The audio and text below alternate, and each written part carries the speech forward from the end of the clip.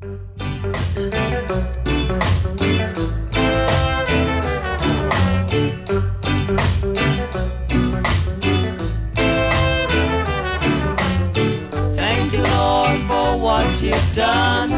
here's some of the results of the Fresnel lens.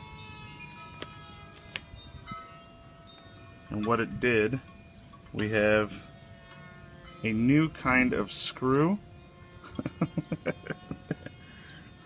Welded this together. That's pretty rad. Keep in mind, this is not a welder that's doing this. This is a just the power of the sun and a lens. Okay? So I put down some sand and we got some glass. And then got some more glass here. want to do a big chunk of this stuff for a while. More glass. You're closing your hand and you're moving it out of the shots in. There you go.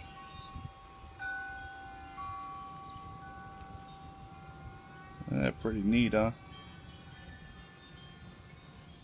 And then I have no idea where the metal went on this, but it just melted that right away. So, but yeah, so I mean, if if used right, you can utilize this to actually uh, weld and uh, make new things. You could probably use it as a forge, you know. Um, but anyway, I got a lot of experiments coming up, so uh, stick with us. Subscribe, obviously. Um, post your comments below, your questions below. Um, make sure that you guys are using safety goggles um, because this stuff can get really bright. And uh, I've burnt my eyes before with a welder by accident, and it was not fun.